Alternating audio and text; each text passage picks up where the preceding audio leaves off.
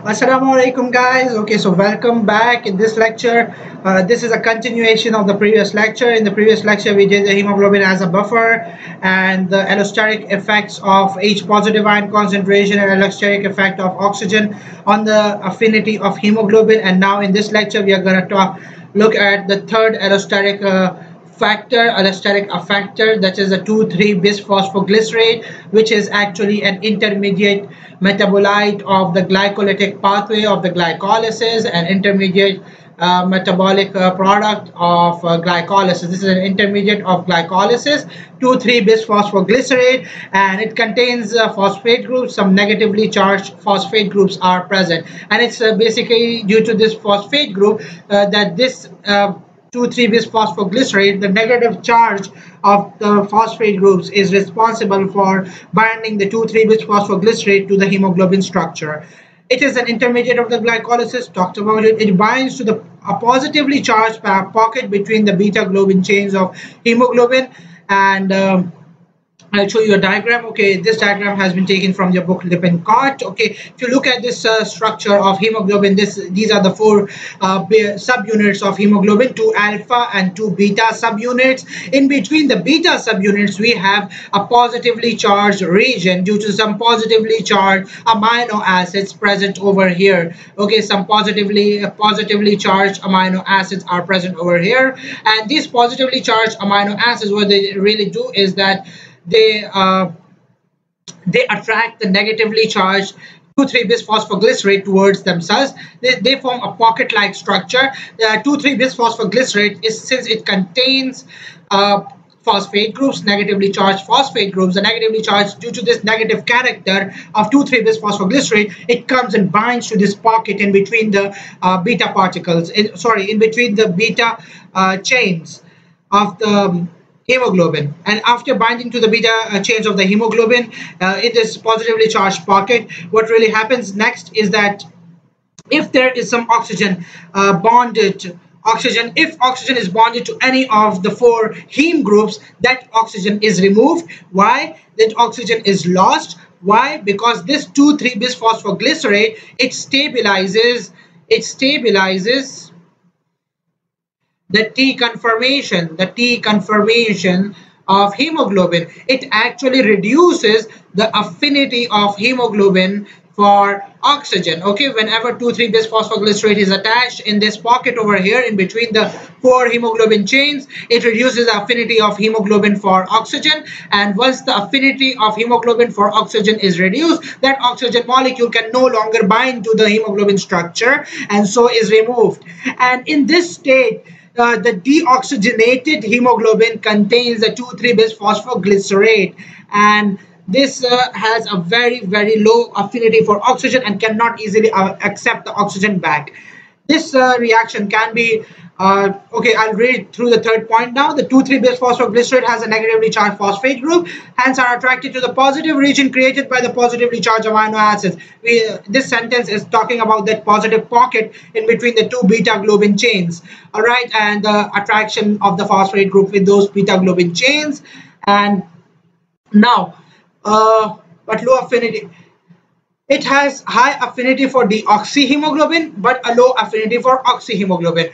Okay, what does this sentence mean? This actually means that the 2,3-bisphosphoglycerate, it can uh, bind, it can stabilize the deoxy form of hemoglobin, which is actually the T conformation of hemoglobin. It can stabilize the T conformation of hemoglobin. It can bind to the deoxy form of hemoglobin very easily, and it can remain bound to the T uh, deoxy form of hemoglobin uh, only okay? If this deoxy form of hemoglobin starts getting deoxygenated although it won't be easy because this deoxy hemoglobin has a very very low affinity for oxygen first because it it was in the T conformation and secondly because this 2,3 bisphosphoglycerate it even stabilized this T conformation further and made it even more resistant to oxidation to accepting the oxygen molecule. But in the lungs due to very high partial pressure of oxygen the oxygen manages to uh, bind to one of the four heme groups. And once the oxygen binds to the heme groups then this 2,3 bisphosphoglycerate is no longer able to remain attached to the to, uh, hemoglobin form. It, it is unable to remain attached to the hemoglobin. And so because the hemoglobin has now converted into oxyhemoglobin and so oxyhemoglobin and 2,3-bisphosphoglycerate is then removed from the uh, it is it then detaches from the hemoglobin structure. And since I told you that uh, the 2,3-bisphosphoglycerate also bisphosphoglycerate uh, if it increases in concentration it also reduces the affinity of oxygen of hemoglobin for oxygen.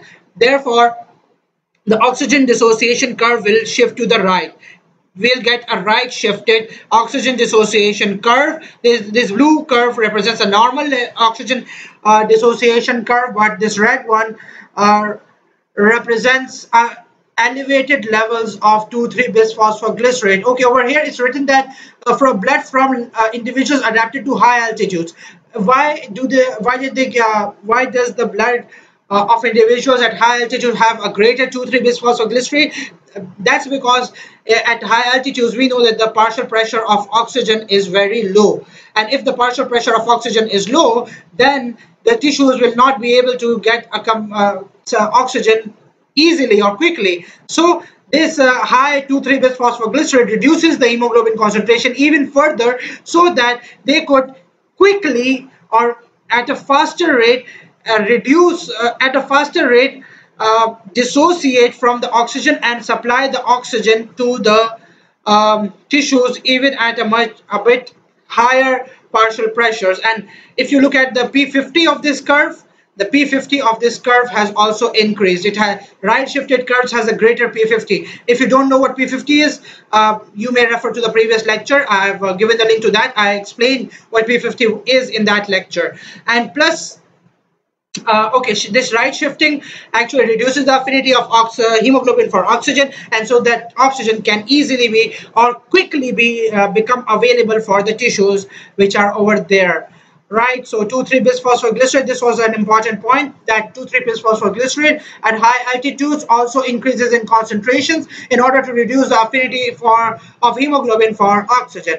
When 2,3-bisphosphoglycerate is attached, it stabilizes the deoxy form of hemoglobin and prevents the oxygen from binding. Once the oxygen binds, okay, uh, this is uh, the case in, in the lungs, okay, when once oxygen binds in the lungs uh, with high difficulty, what happens, the pocket loosens the pocket loosens okay it, it does not remain as tightly firmly attached to the 2,3 bisphosphoglycerate but rather it loosens and so the 2,3 bisphosphoglycerate detaches the that pocket and once it detaches it then again oxyhemoglobin is formed with a low affinity with a high affinity for oxygen. But as long as the 2,3 bisphosphoglycerate is attached to the hemoglobin uh, hemoglobin will have a low affinity for oxygen okay so that's it for this lecture. Okay and if you look at the black curve over here this black curve is also a sigmoid in shape but it has it has been stripped off from 2,3 bisphosphoglycerate and this curve has been left shifted. Okay left it has been shifted to the left because now this uh, hemoglobin which is over here this hemoglobin has very very high affinity for oxygen and it will not it will not uh, it will not uh, loosen, it will not uh, give up its oxygen to the surrounding tissues even at a low temp pressure, even at the low pressure where it is supposed to supply the oxygen to the tissues under normal circumstances. It uh, has to go even lower to supply uh, uh, the oxygen which it already contains. So this, if the 2,3-bisphosphoglycerate decreases, then the affinity uh, increases and if it becomes zero it becomes abnormally high okay? So that's why this shape of the curve has now almost become hyperbolic. It, it resembles now the shape of the graph of myoglobin. Myoglobin as you already know and we've talked about it in the previous lectures as well that it has a very high affinity for oxygen because it acts as an oxygen storage. Okay so that's it for this lecture as well. Uh, we'll be back with more lectures uh, very soon Thank you so much, guys.